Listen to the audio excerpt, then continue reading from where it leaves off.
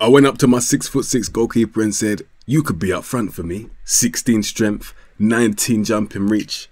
He's not allowed to be a striker right now. The game doesn't allow it. So I have to literally force him to be there. Let's see how long this takes for him to turn into a striker. I want him to become prolific. Alright, so we're more than halfway through the season. He's played 24 league games and 7 Champions League games. And he hasn't scored one goal or got one assist. He's just been up front for no reason. It's like if one of those Marvel movie lava monsters spawned in the ends and then I just threw a bar of soap at him. Have that! And then before it even landed on him, it already melted. That's the amount of ineffectuality, if that's a word, that I've just seen from this man, bro. In fact, it says he's still ineffectual up front. This has been over half a season. Let's keep on going. We've unlocked a new feature in this character development. The additional focus tab is now open. And if I had to choose anything, it'll be quickness because pace is the meta and I want him to become the new Erling. We've got one game left and I've been doing it wrong. I've been using him as a pressing forward this whole time. He's meant to be a target forward. You saw his stats. So let's see if that makes a difference in the last game. Burn, Gordon. Alright, so they've taken the lead. Get Bayindir on the ball. What are they doing? Oh my lord. Correa. Oh my god. Battered by Newcastle, bruv. Oh my god.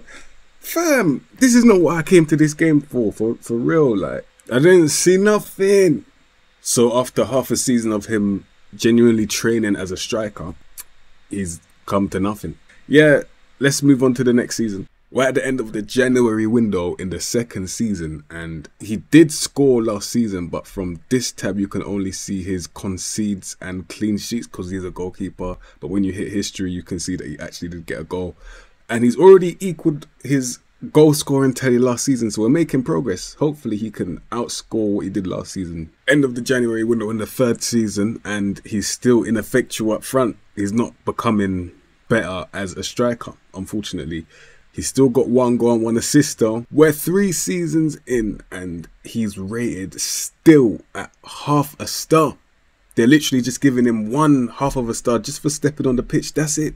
Because he's not developing right now. But believe it or not, he's had a better season again.